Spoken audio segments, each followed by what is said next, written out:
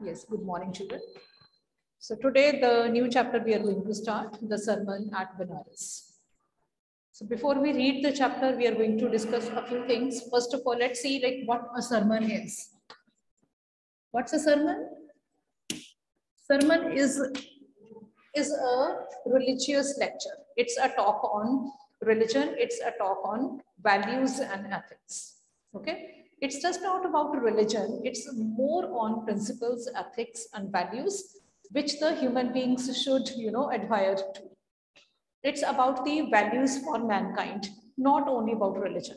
So whenever you hear any person uh, any religious person talking about values and ethics that's a sermon. So it's a talk on religion. It's a talk on values principles and ethics uh, yes, some people uh, say that uh, some people make fun of this word sermon. It can be used in a humorous manner also. Like, for example, my mother um, might give a sermon on uh, getting more marks. Uh, so, so here you can use this expression as a, in a humorous manner also because uh, sermon is like basically it's a religious talk or a talk on principle, ethics and values, but it can be humorously used as well. For example, my teacher uh, will keep on giving, ser giving sermons on uh, discipline, values and all. So it's being used humorously, right? So then let's talk about the uh, sermon at Benares. So the writer is asking us like, have you ever heard about the Sermon on the Mount? Have you ever heard about this? The Sermon on the Mount? So children, this very Sermon on the Mount, sermon I've told you, it's a talk on values and ethics. So Sermon on Mount was given by Jesus Christ. Jesus Christ gave the Sermon on Mount to his disciples about, about the values of life or about whatever. So then the sermon at Benares was given by Gautam Buddha.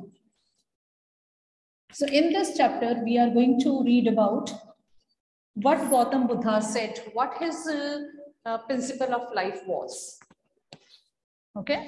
So let us talk about like what was, uh, who gave this sermon on sermon at Benares? It was given by Gautam Buddha to a woman, the one who, who, uh, who lost her son.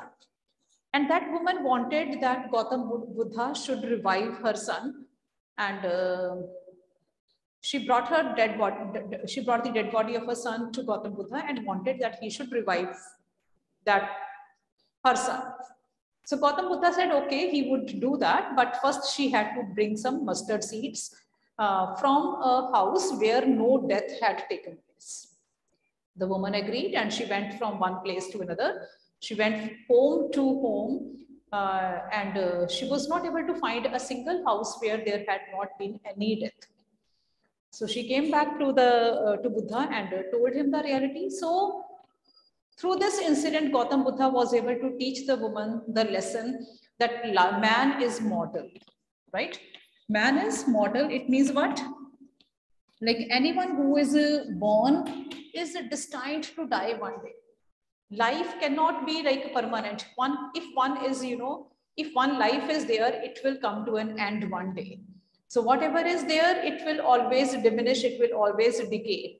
So death is a law of nature and one, after death will be the birth. So that is a circle that's the you know, law of nature and it, it will be so. So there is no need for one to become too much attached with this life.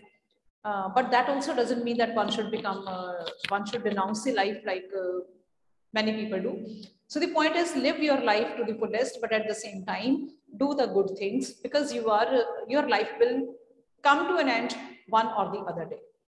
So the sermon at Benares was given by Gautam Buddha upon the fact like death is imminent. Death will come one day or the other. So you cannot belie the fact like, like that death is imminent, it will come and uh, one must be ready for it. And it should not, uh, yes, death makes us sad, but acceptance is the only solution, right? So let's read out the story in brief, in uh, details. So Gautam Buddha, so first we are going to read about the Gautam Buddha's early life. Okay. So first paragraph is about his early life. So let's see. So Gautam Buddha, he began life as a prince named Siddhartha Gautam in northern India. At 12, he was sent away for schooling in the Hindu sacred scriptures. And four years later, he returned home to marry a princess. Got it? So he his uh, full name in the beginning as a child was Siddhartha Gautam. In northern India, at the age of 12, he was sent away for schooling in the Hindu sacred scriptures. And four years later, so he studied for four years and afterwards he came back home and he married a princess. They had a son and lived for 10 years as befitted royalty.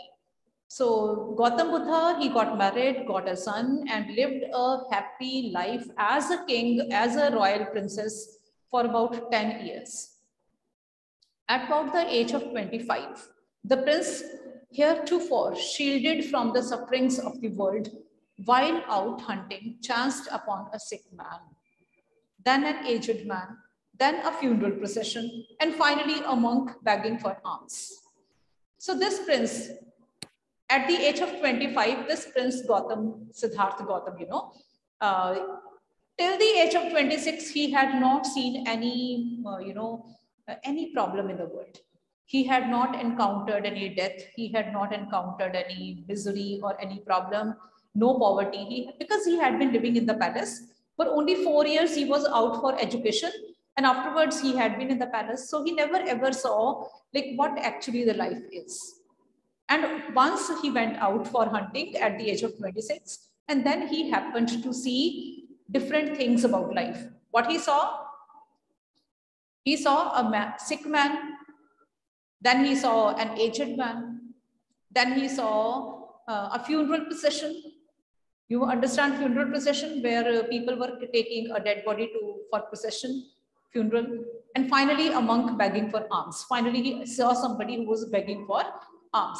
So these sights so moved him that he at once went out into the world to seek enlightenment. So these sights of the old man or of the suffering or of the death, these sights of so many, uh, you know, uh, with a different, you know, uh, point of views, he, he was so touched, he was so moved that he went out to seek enlightenment. So what is enlightenment? A state of high spiritual knowledge. Concerning the sorrows. Concerning the sorrows he had witnessed. He wandered for seven years and finally sat down under a peepal tree where he vowed not to stay until enlightenment came. So finally, for seven years, he kept on wandering from one place to another. And finally, uh, he sat under a peepal tree and he uh, decided not to move until he had got enlightenment. Okay, enlightenment after seven days, he renamed the tree. Enlightened after seven days, he renamed the tree the Bodhi. So he got enlightenment under that very peepal tree and named that tree as Bodhi. Bodhi tree, free uh, tree of wisdom. Bodhi word has come from the word bud, bud, buddhi. Buddhi means wisdom, Hindi word buddhi. And from there, they got the word as bodhi, the tree of wisdom, and began to teach and to share his new understandings. So what is enlightenment, children? Enlightenment is spiritual knowledge. When you gain that, uh, when you are able to have that communion with God and you are able to seek that, seek the reality. When you are able to know like what the reality is okay when you are able to shun your uh, you know uh, ignorance and when you gain ultimate knowledge that is enlightenment so when he got that enlightenment he he renamed that tree as bodhi and he began to teach and share his new understandings at that point he became known as the buddha the awakened or the enlightened so buddha means the awakened and enlightened soul so at, it was at this point of time that he got to be known as Gautam Buddha. The Buddha preached his first sermon at the city of Benares, most holy of the dipping places on the river Ganges or Gange. So he gave his first sermon at the city of uh, Benares, which is considered as the holiest place uh, near Ganga. That sermon has been preserved and is given here. it reflects the Buddha's wisdom about one inscrutable kind of suffering. So this very sermon which he get, gave at that city of Benares that is being preserved and it speaks, it shows Buddha's wisdom about one inscrutable kind of suffering. What is inscrutable? Something which cannot be understood. So he, it shows his wisdom about the most difficult kind of suffering. So Kisa Gautami had an only son. So we are going to read what that sermon was. So here it is. Kisa Gautami had an only son and he died. In her grief, she carried the dead child to her all neighbors, asking them for medicine. And the poor and the people said, she has lost her senses. The boy is dead. So what happened? Kisa Gautami, the one who lost her only son, uh, in her grief, when she was in ex extreme grief, she carried the dead body of her son and uh, and uh, asked her neighbors to give some medicine for her son. And the people said like because she had lost her son, so she had become mad. Okay. At length, Kisa Gautami met a man who replied to her request. I cannot give thee medicine for thy child, but I know a physician who can. So finally, Kisa met a man, the one who uh, talked to her a bit sensibly. So he told her, like he cannot give her son a medicine, but he can recommend a doctor for her. And the girl said, uh, pray tell me, sir, who is he? Who is it? So pray means please tell me. So please tell me who that person is. And the man replied, go to uh, Sakya Muni, the Buddha. So the man uh, referred him to, referred her to Buddha. Kisa Gautami repaired to the Buddha. So here repaired doesn't mean that she repaired him. It only means she went to him. Okay. So she went to Buddha. Uh, children, why has this kind of language been used? Earlier, the writer was saying like uh, uh, that woman, earlier somebody said like, I, uh, I cannot give thee medicine for thy child. Thee means you and thy means your. Why has this kind of language been used? Because it's an archaic, it's an old styled language and because it uh, this this sermon has been taken from an old book so the style of the language at the time whatever it was so that has been written over here so then here then uh, he says the buddha answered Kisa Gautami repaired to Buddha and cried, Lord and Master, give me the medicine that will cure my boy. The Buddha answered, I want a handful of mustard seeds. And when the girl in her joy promised to procure it, the Buddha added, the mustard seed must be taken from a house where no one has lost a child, husband, parent, or friend. So he said, like, I want mustard seeds from the kind of house where no death has taken place. Poor Kisa Gautami now went from house to house, and the people pitied her and said, Here is mustard seed, take it. But when she said, Did a son or a daughter or a father or a mother die in your family? They answered her, Alas, the living are few, but the dead are many. Do not remind us of our deepest grief. And there was no house, but some beloved one had died, died in it. So wherever this woman went to ask for the mustard seeds, she was given, but there was not even a single house where there had not been any death.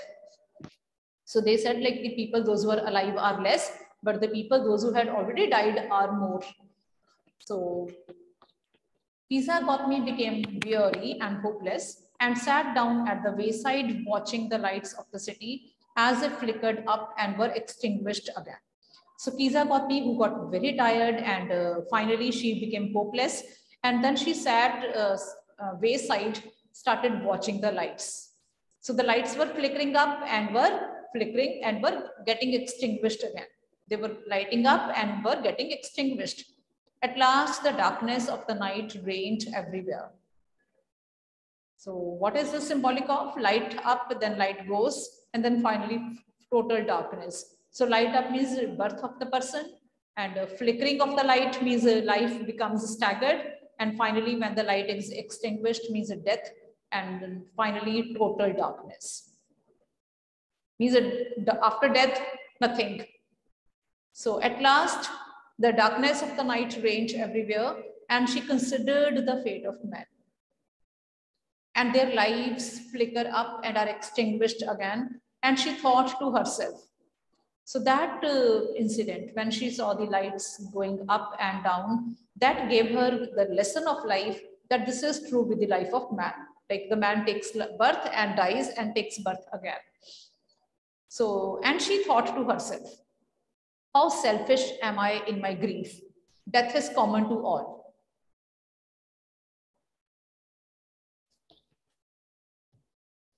Uh, so she said like Kisa Gautami.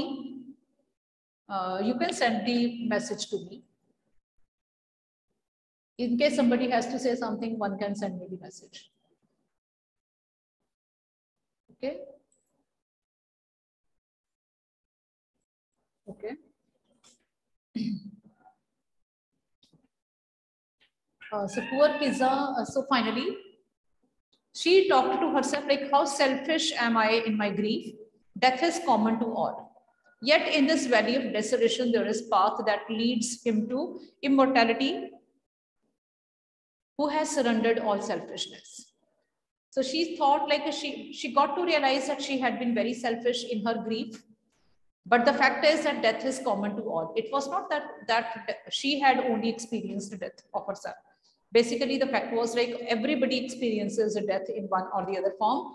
Yet in this valley of desolation, there is a path that leads him to immortality who has surrendered all selfishness. But yes, if death is inevitable, if death is a, a reality in the end, then one day, the fact is that uh, even in this valley of death, there is a hope. What is that hope? If somebody had been very selfless, if somebody had been if somebody had been able to give up all uh, mundane issues and selfishnesses, then one can get immortality. What is immortality? Immortality is uh, getting rid of the cycle of birth and death. Okay, when you uh, when you take birth and when you die, then afterwards when you don't take birth back, it is immortality. So immortality is the only hope of life. And immortality comes when we are selfless. So the Buddha said, the life of mortals in this world is troubled and brief. So what did Buddha say? The life of mortals in this world is troubled and brief and combined with pain. It's a very important thing and that's a fact also. So life is very, uh, life is number one, limited. So one, uh, when one takes life, birth, that person will die. That is for sure. So lifespan is limited. Number two, within this lifespan, one, one always has to struggle. There cannot be a single person who says that he doesn't have to struggle. Each and everybody has to struggle right from the time of birth. And uh, so it is troubled, brief, and combined with pain. For there is not any means by which those that have been born can avoid dying. So you cannot avoid death. After reaching old age, there is death. Of such a nature are living beings. So the reality is that when one becomes old, one will die. So you cannot avoid death. As ripe fruits are early in danger, as ripe fruits are early in danger of falling. So ripe fruits are early in danger of falling means when the fruit becomes ripe, they fall Similarly, it's a law of nature that the when man becomes ripened, then when man becomes old, he will die. So mortals when born are always in danger of death.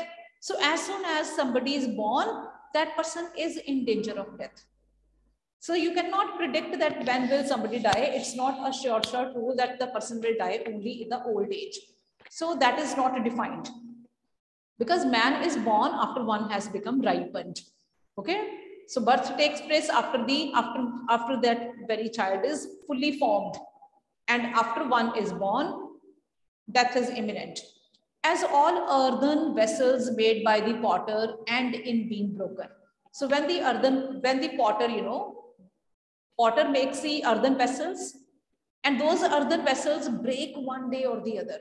You cannot say like some earthen pot will remain there forever. It's not possible so is the life of mortals, both young and adult, both those who are fools and those who are wise, all fall into the power of death.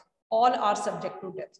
So everybody, whether somebody is poor or rich, intelligent or weak. So everybody will die. All are subject to death.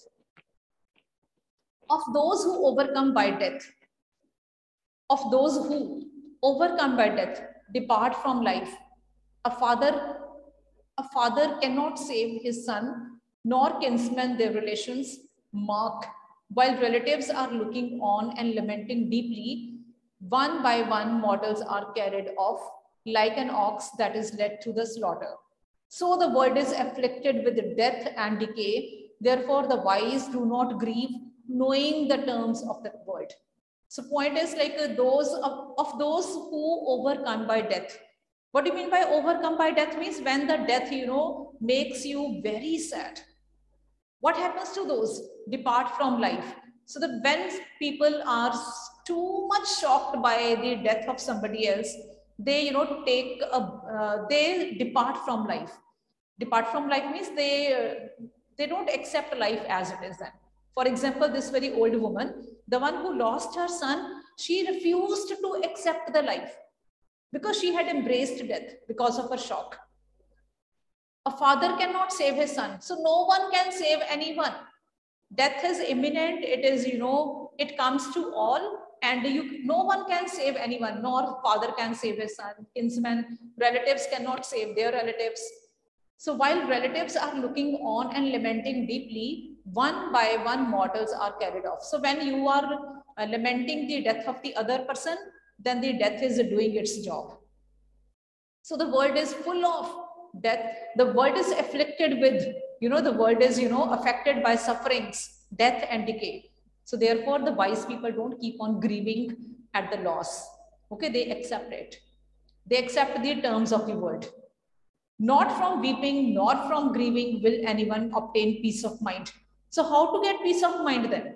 If death is imminent, if death will come, if it is law of nature, then how to accept it? Point is this, because it, is not easy to accept the reality of death like that. Then once you the point is like you cannot get peace of mind by weeping. One cannot get peace of mind by uh, by remaining grief stricken. On the contrary his pay, pain will be greater and his body will suffer. So keeping on crying and keep on uh, getting grief, grief stricken that will weaken the body and your pain will be increased. He will make himself sick and pale yet the dead are not saved by his lamentation he who seeks peace should draw out the arrow of lamentation and complaint and grief. So he who seeks peace should draw out the arrow of lamentation, complaint and grief. So those who want peace, they must limit their grief. They must draw a line. Okay, the grief should be celebrated to some extent. Don't keep on crying. Don't keep on. Then what to do? Accept. He who has uh, drawn out of the arrow and has become composed. So he who has drawn out the arrow and has become composed will obtain peace of mind. So how to get peace of mind? Number one, uh, delimiting, like uh, drawing a limit. Okay, and when you come out of, uh, when you are able to accept the things, then peace of mind will become and he who has overcome all sorrow will become free from sorrow and be blessed. So how to be how to overcome sorrow? When you when you overcome the sorrow on your own with your own willpower with your own acceptance. And when you are away from the sorrow when you are able to overcome your sorrow and grief and have accepted the things then only you feel that you are blessed. Otherwise there is nothing that can make you happy so that is how we have finished the chapter just in one go today. I wonder like for the first time in my life, I've finished one chapter in one period because it was a very serious kinds of chapter and very short.